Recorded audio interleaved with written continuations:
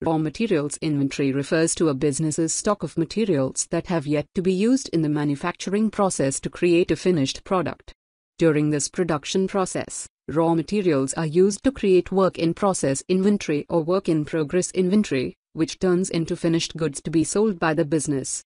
Inventory tracking is an important part of supply chain management when it comes to the raw materials used to create work in progress inventory and later the finished products. Stock levels must be monitored and costs and labor must be accounted for. Therefore, keeping track of the types of inventory and the materials used to create those inventories is an essential part of proper inventory management. That's why many businesses turn to inventory management software to help with this process. Why do businesses have raw material inventory? Companies that sell goods can purchase finished products or acquire raw materials and make the finished products themselves. The reason why businesses decide to carry raw materials inventory is based on a few different factors. It is cheaper to buy the materials and produce the product than it is to buy the finished product outright. It makes custom production easier. To reduce transportation costs and transit times for high demand materials by having them on hand.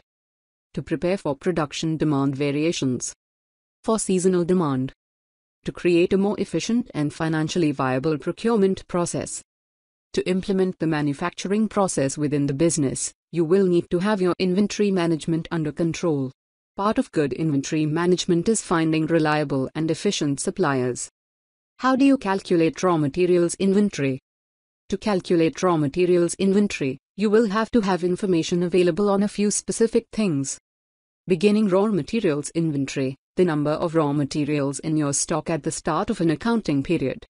Raw materials purchased, concerning the number of raw materials purchased during the accounting period in question.